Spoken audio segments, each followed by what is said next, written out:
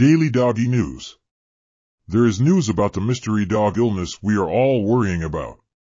Now called Canine Infectious Respiratory Disease Complex, CIRDC, which starts off as a cough and can develop into potentially deadly pneumonia-like symptoms.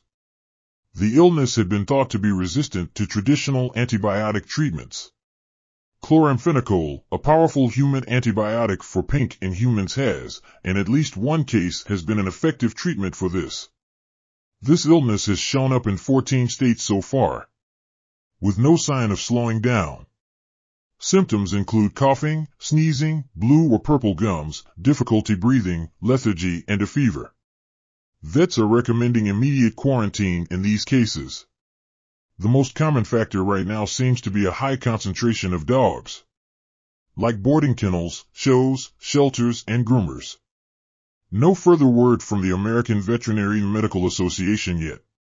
I am diligently watching for updates from any source and will pass those along. This has been the Daily Doggy News. Please, like, subscribe, hit that bell and share, share, share because everyone loves dogs.